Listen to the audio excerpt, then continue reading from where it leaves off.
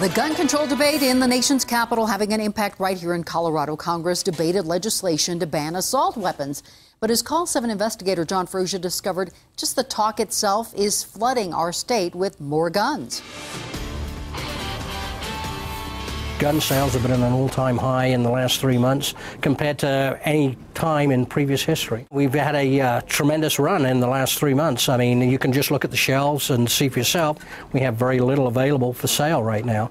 Richard Taylor, manager of the firing line in Aurora, is one of several gun dealers in the metro area who say they could sell many more military style rifles similar to these, but they simply can't get them. As soon as they mentioned the possibility of having some kind of a ban on assault weapons, that's when it really hit. In fact, CBI records support his observation. We checked and found the number of background checks for gun sales has skyrocketed since the proposed assault ban legislation was introduced. For the three month period, December 2011 and January and February 2012, gun sale background checks totaled over 73,000. About half of those were long guns. For the same three month period, a year later, when Congress proposed the assault weapons ban, the total for handguns and long guns doubled to almost 148,000. We wouldn't see the demand increase if there weren't a ban, so we're getting a bubble that's caused by that demand. Uh, increase due to the ban. Denver University finance professor Matt Klaus says it's simply supply and demand.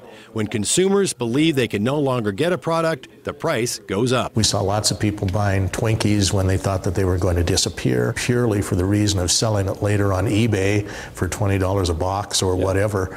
And it was the same idea that we got this artificially increased in increase in demand because we thought that that they were going to go away. Right now, manufacturers are trying to produce as fast as they can, yet I still have empty shelves. Everything that we get in goes out the door almost immediately. Guns are certainly an emotional issue after some of the things that we've seen happen. And so the first thought is, well, let's just do something to ban them and make the sale of these illegal so that they go away. But in fact, uh, it has the opposite effect. Congress has done a great job for us. I mean, business has never been better.